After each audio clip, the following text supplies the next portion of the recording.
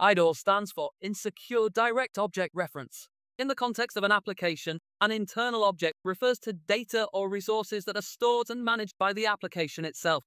These objects could be anything that the application uses internally to keep track of its information, like database entries, files, documents, user IDs, session IDs, and API resources. Imagine you have a locker at school with a special number, like 123, and you use that number to get your stuff.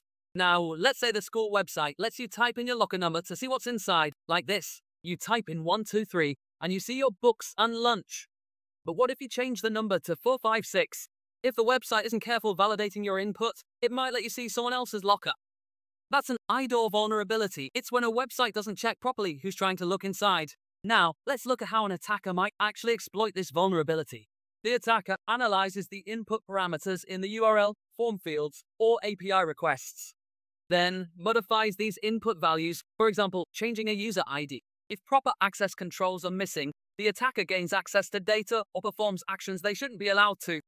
IDOR vulnerabilities can be extremely dangerous because they can lead to unauthorized data access, privacy violations, and even account takeover.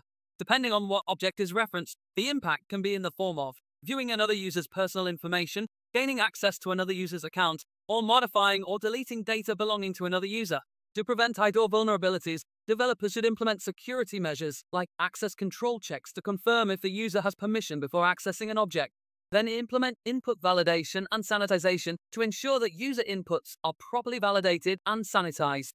Additionally, using role-based access control to manage what data users can access based on their roles. Different tools can be used to find IDOR vulnerabilities, like Burp Suite and OWASP ZAP.